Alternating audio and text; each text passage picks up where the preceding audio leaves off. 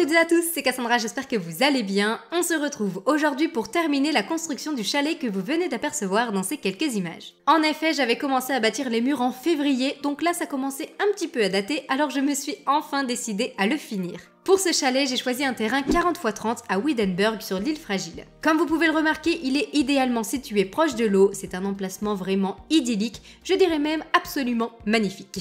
Pour cette maison, je ne me suis pas imaginé de famille particulière, je l'imagine plus comme une résidence secondaire où les Sims peuvent venir se ressourcer. Je me souviens à l'époque que j'avais arrêté la construction parce que j'hésitais à faire soit un intérieur très rustique ou au contraire un intérieur très moderne.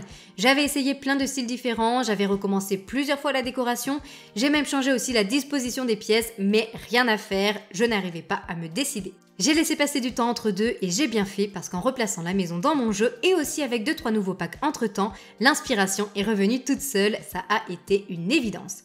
Pour vous décrire le style, eh ben, je sais pas trop, ça reste quand même, je pense, dans le moderne, parce qu'il y a plein d'éléments très modernes, comme la cuisine, la cheminée qui est très cubique, et en même temps, j'ai tenu à laisser beaucoup de bois à l'intérieur, un carrelage plutôt rustique, qui contraste avec les éléments modernes et qui donne aussi une touche hyper chaleureuse au chalet, donc au final, sans m'en rendre compte, j'ai fait un parfait mélange entre les deux styles pour lesquels j'hésitais au début.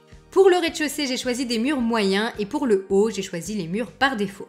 Les grandes fenêtres rectangles font partie du pack écologie, la porte d'entrée définitive que j'ai choisie vient du pack Heure de gloire. Les revêtements muraux et les poutres que j'ai placées dans les angles proviennent du pack Destination Nature. Et les poutres à gauche, celles qui sont là pour soutenir le toit, proviennent du pack Saison. Pour pouvoir placer des corbeaux de chaque côté des poutres, j'ai dû dans un premier temps casser le petit muret que j'avais construit. Pour les placer exactement comme je le souhaite, comme d'habitude, j'appuie sur la touche Alt après avoir bien sûr activé tous les codes de triche utiles à la construction. Vous retrouverez tous les codes et raccourcis clavier en barre d'infos. Et enfin, pour monter les objets, j'appuie sur les touches Alt plus 9 ou juste 9 selon les ordinateurs. J'ai alors fait de même pour les 7 autres poutres. Ça m'a pris un peu de temps, mais je trouve que ça en valait vraiment la peine. C'est souvent ce genre de détails qui manquent dans les Sims pour que nos maisons paraissent plus réalistes. J'ai ensuite copié le toit pour le coller à côté, j'ai remonté légèrement les fenêtres puis j'ai rajouté aussi des corbeaux sous les toits en les rétrécissant cette fois-ci deux fois avec la touche parenthèse fermée.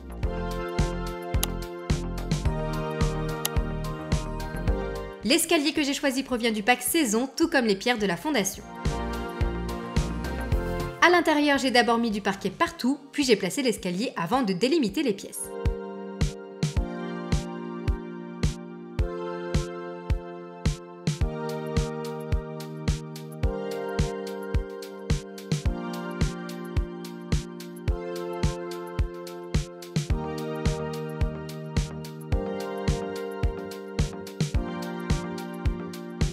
Ce qui nous fait donc l'entrée, la cuisine, la salle à manger, le salon. Ici, on aura une chambre parentale avec, comme son nom l'indique, sa propre salle de bain. Et là, il y aura des WC indépendants.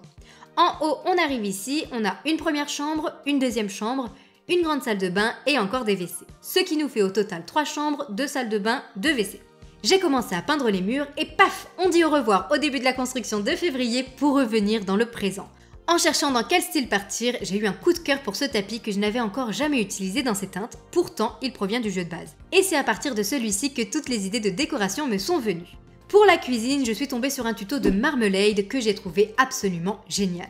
J'ai tout de suite voulu le mettre en pratique. Ces vidéos sont sans parole, donc je profite de cette construction pour vous l'expliquer en quelques mots si toutefois vous souhaitez aussi la reproduire. En premier, je place trois meubles de dressing du pack décorateur d'intérieur en prenant soin de ne pas le coller directement contre le mur. En revanche, je place mes meubles de cuisine directement contre le mur. Il m'en faut 4. Pour ma part, j'ai choisi des éléments de barre du pack au travail, mais vous pouvez prendre n'importe quelle autre cuisine. Je tourne le dernier meuble que je viens de placer afin de créer un retour, et là vous pouvez placer le nombre de meubles que vous souhaitez. Pour ma part, j'en ai placé deux. Ensuite, je casse le mur pour pouvoir placer une pile de 3 cubes comme pour les meubles du dressing, ils viennent du pack décorateur d'intérieur. Pour plus de précision, je décale aussi légèrement le bar. Là, ça ne se voit pas en vidéo, mais le plan de travail traversait légèrement mes cubes. Je fais pareil de l'autre côté, puis je reconstruis les murs. Je ne sais pas ce que vous en pensez, mais alors moi j'adore cette astuce, je trouve que ça modernise énormément nos cuisines. Donc voilà pour le petit tips de Marmalade qui n'a pas fini de nous épater. J'ai coupé une petite partie au montage parce que c'était pas très intéressant, mais j'ai finalement déplacé ma cuisine juste ici, ce qui m'a permis, en ouvrant le mur sur deux carreaux, de créer de l'autre côté des rangements pour l'entrée. Et là, je me suis pris la tête pour essayer de faire quelque chose de beau. Pour vous, ça va passer très vite en vidéo, mais je pense que ça m'a pris au moins une heure à cause de toutes les contraintes du jeu que j'ai dû détourner. Alors, je vous explique ça. J'ai d'abord tout simplement placé 9 cubes pour venir les coller de l'autre côté du meuble. Pour les placer, en premier, j'ai dû casser les murs, mais ça ne suffisait pas, je n'arrivais toujours pas à les placer où je le souhaitais, parce que le jeu voulait les positionner dans le même sens que l'autre. Je sais pas si j'explique bien, mais les images parlent d'elles-mêmes. Donc j'ai enlevé le meuble qui m'embêtait, j'ai alors pu placer mes cubes. Mais le problème c'était simplement décaler un tout petit peu plus loin, parce que c'est maintenant l'autre meuble que je ne pouvais plus mettre. Bah oui, j'aurais dû m'en douter.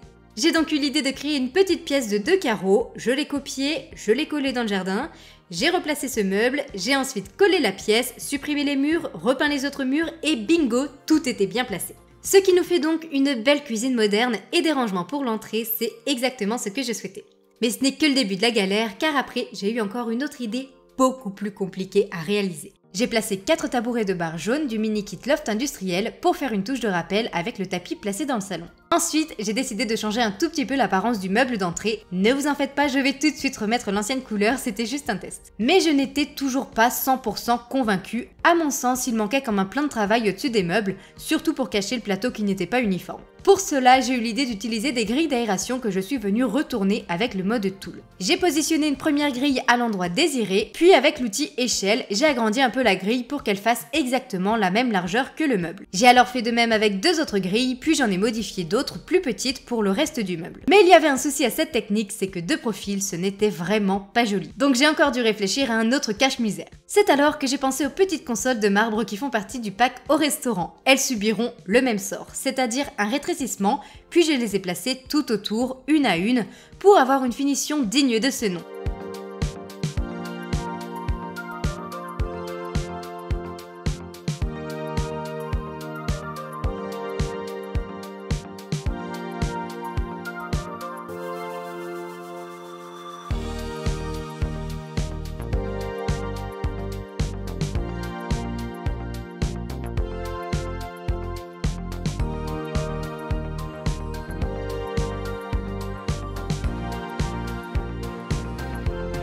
Après environ une heure d'acharnement, voilà le résultat. Je suis fan. Une astuce de Mermelade plus une idée de Cassandrao combinée, ça nous fait une cuisine pépite pépite. ouais, je me la pète un petit peu, tout ça pour dire que j'aime vraiment trop trop trop. J'ai ensuite changé les meubles de cuisine par d'autres du jeu de base, tout simplement pour qu'elles soient un tout petit peu plus foncées, comme le plan de travail que j'ai créé. Je l'ai placé volontairement à l'envers pour éviter de voir les poignées qui sont selon moi hideuses. Ne vous inquiétez pas, elles restent quand même fonctionnelles. J'ai complété la cuisine en rajoutant un évier, une plaque de cuisson, un four, un micro-ondes, une hotte et j'ai complété les espaces vides avec quelques affaires.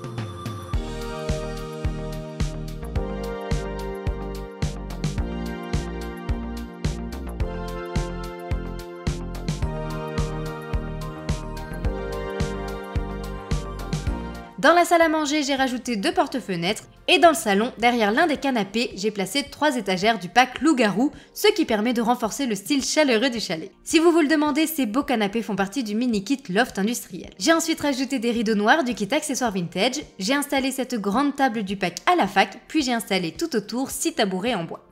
Derrière, j'ai placé deux commodes du pack Heure de Gloire côte à côte de manière à n'en faire plus qu'une seule. Je l'ai agrémenté d'une plante, d'une lampe et d'un plateau, puis j'ai eu l'idée d'intégrer des meubles de cuisine pour laisser dépasser seulement le plan de travail. Et j'ai rajouté quelques bibelots.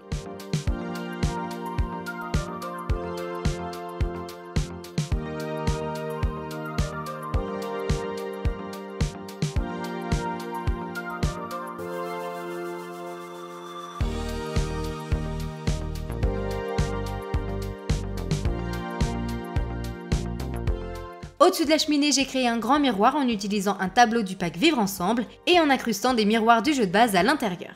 J'ai encore ajouté une table basse, une plante, un tourne-disque et encore quelques autres affaires.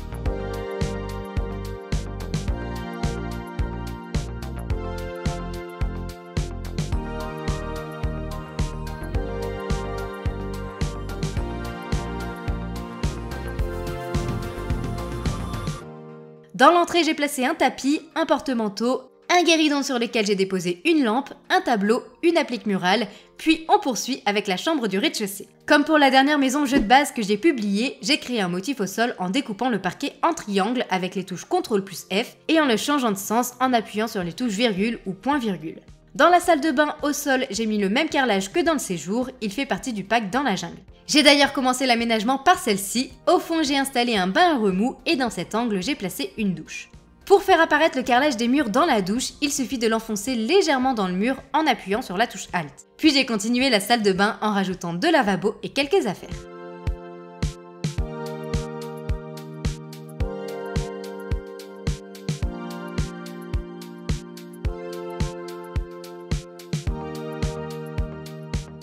Pour cette chambre parentale, j'ai opté pour ce magnifique lit du mini kit Loft Industriel. J'ai peint deux murs en gris, puis j'ai rajouté deux tables de nuit assorties. De chaque côté, j'ai accroché deux appliques murales du pack Strangerville, comme je l'avais fait dans cette vidéo. Si vous aimez le style industriel, vous serez ravis de la visionner. Derrière le lit, j'ai rajouté un sticker, c'est du pack Loup-Garou. Je l'ai grossi plusieurs fois avec la touche accent circonflexe. J'ai rajouté un tapis, un petit meuble en face du lit avec une télé, un fauteuil et enfin une armoire.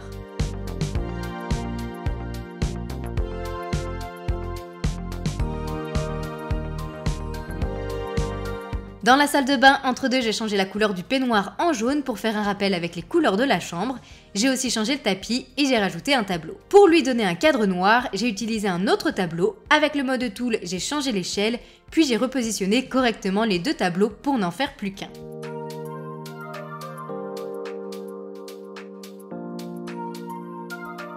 J'ai ensuite rapidement aménagé les WC du rez-de-chaussée.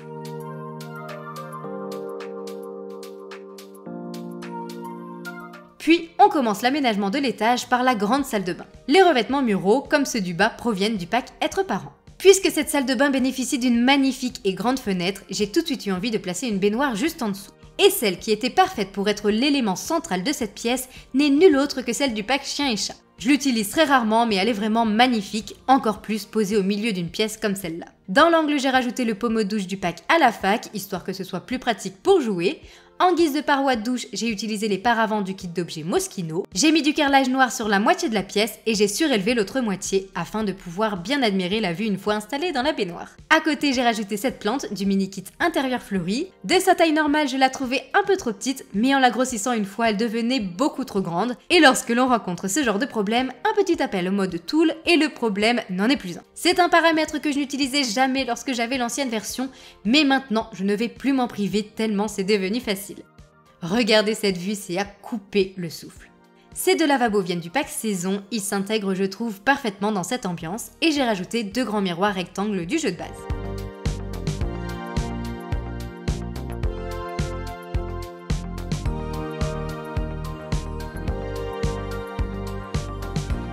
Poursuit avec la plus grande chambre de la maison. Au début de la vidéo, je vous disais que je voyais bien cette maison comme une résidence secondaire. Ça m'a donné envie de donner à cette chambre un esprit dortoir en utilisant des lits superposés. Ceux-là font partie du pack décorateur d'intérieur. Je les ai d'abord choisis avec du bois foncé et ensuite j'ai craqué pour les lits blancs. Je trouve que ça donne un peu de douceur. Pour une chambre d'enfant, c'est plus sympa.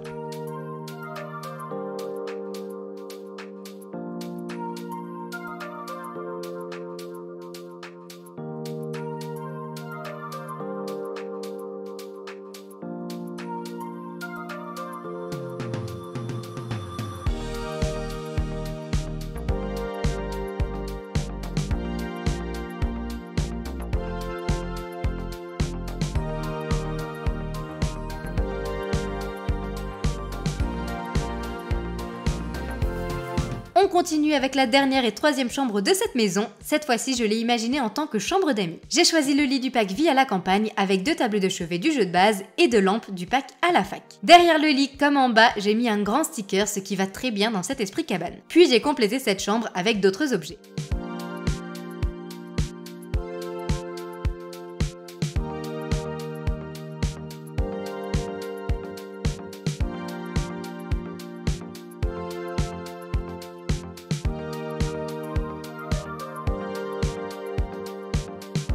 L'intérieur est maintenant terminé, nous allons pouvoir embellir l'extérieur.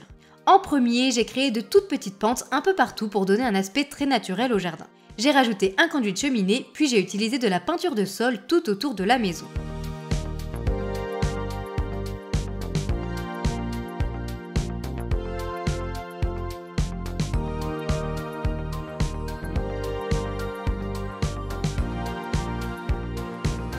J'ai ensuite planté de petits buissons qui font partie des objets cachés un peu partout de manière aléatoire pour donner un aspect sauvage et encore une fois très naturel.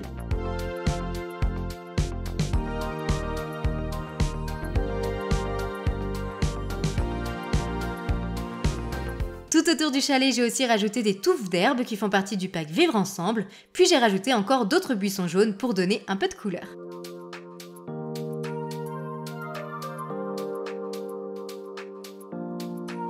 Toujours dans les objets cachés, j'ai trouvé de belles pierres du pack Destination Nature, j'en ai alors placé par-ci par-là.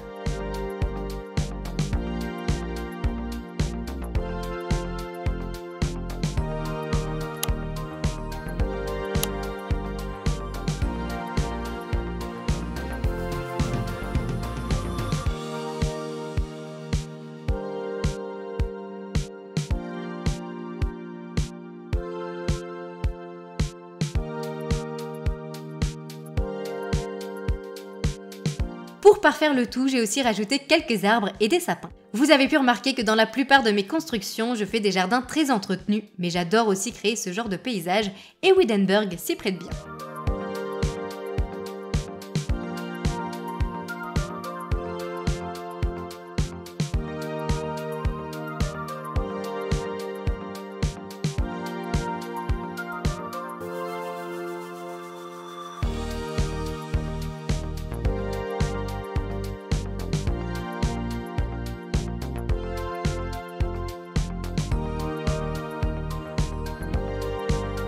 Sous l'abri, vous l'aurez remarqué, il y a les sources chaudes du pack Escapade enneigée. J'ai rajouté deux transats, un parasol du pack mariage, une barque quelque part dans le jardin. Ici, j'ai créé un petit coin barbecue, puis j'ai peaufiné la décoration. La construction touche à sa fin, j'espère qu'elle vous a plu. Si c'est le cas, n'hésitez pas à liker et à commenter, ça fait toujours super plaisir. Si vous ne savez pas quoi poster mais que vous souhaitez tout de même me soutenir, un petit smiley suffira à booster mon référencement. Merci à tous ceux qui joueront le jeu. Ce chalet sera bien sûr disponible dans ma galerie, mon origine idée se trouve en barre d'infos. Et sur ce, je vous laisse tranquillement apprécier les dernières modifications avec la visite de fin. Bon visionnage